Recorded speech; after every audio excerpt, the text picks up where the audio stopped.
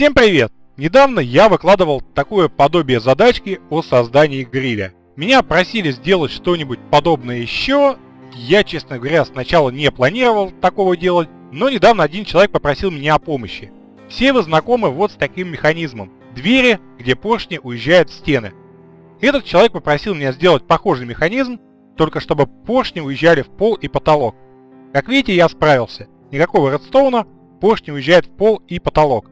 Вот над этой задачкой я и предлагаю вам подумать. Чтобы подсказок не давать, я сделал кожух побольше и предлагаю вам попробовать свои силы в создании такого механизма. Ваши варианты размещайте в качестве видеоответов к этому видео, а свой вариант я покажу несколько позже. Желаю вам удачи, пока!